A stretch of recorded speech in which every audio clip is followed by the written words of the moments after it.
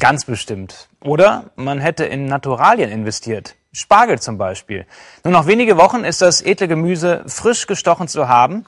Und wegen des durchwachsenen Wetters und geringer Erntemengen müssen die Spargelfans in Deutschland dieses Jahr mehr ausgeben als sonst. Aber echte Liebhaber stört das nicht.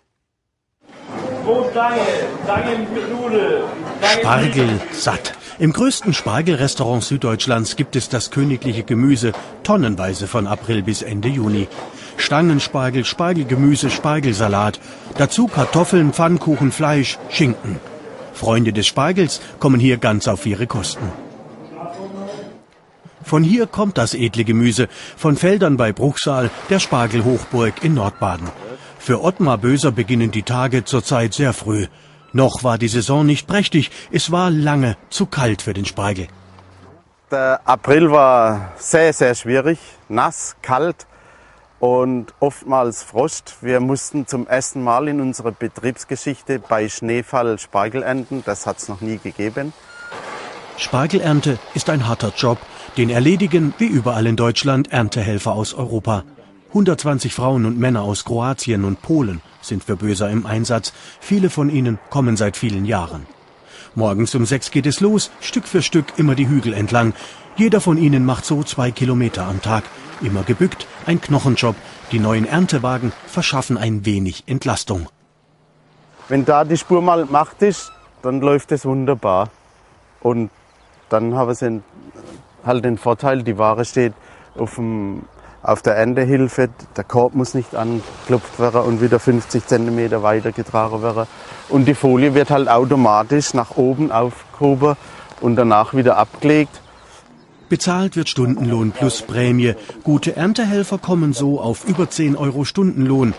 Drei Monate Spargelsaison ist für die meisten mehr als ein Jahreseinkommen in der Heimat. Ottmar Böser hat das Geschäft von klein auf gelernt. Er hat den Hof vom Vater übernommen, baut 45 Hektar Spargel und 5 Hektar Erdbeeren an. Für den eigenen Hofladen und das Restaurant. In Spitzenzeiten ernten sie hier drei bis vier Tonnen am Tag. Wir verwerten alles und es fängt quasi an bei dem dünnen Spargel, Suppenspargel, der auch gar nicht geschält werden muss, weil er ganz dünne Schale hat. Und dann haben wir hier die schönen weißen geraden Stangen. Das ist eine Klasse 1. Das ist so hätten wir gern alle, aber das sind maximal 10 Prozent unserer Ernte. 10 Uhr, Landwirt Böser wird jetzt zum Entertainer. Jeden Tag in der Saison hat er eine Reisegruppe zu Gast auf dem Hof, Öffentlichkeitsarbeit für den Spargel. Heute sind es Rentner aus dem Saarland. Es gibt eine halbe Stunde Nachhilfe in Sachen Spargel und Mutige dürfen auch selbst stechen. So lernt man leichter, warum Spargel viel mehr kostet als anderes Gemüse. Uns liegt ganz, ganz viel dran, dass man einfach die Leute aufklärt, den Leuten zeigt, was hinter den Kulissen äh, abläuft und wie wichtig es ist, den Leuten zu zeigen, was für eine Arbeit dahinter steckt. Der Lohn, Spargelessen im Restaurant. Aus einem Umkreis von 100 Kilometern kommen Spargelfans hierher. Allein heute gibt es 650 Platzreservierungen. Das Gastrokonzept hat sich Wolfgang Böse ausgedacht, der Bruder des Landwirts. Über 50 Mitarbeiter, darunter 10 Profiköche, verstehen sich als Botschafter für den Spargel.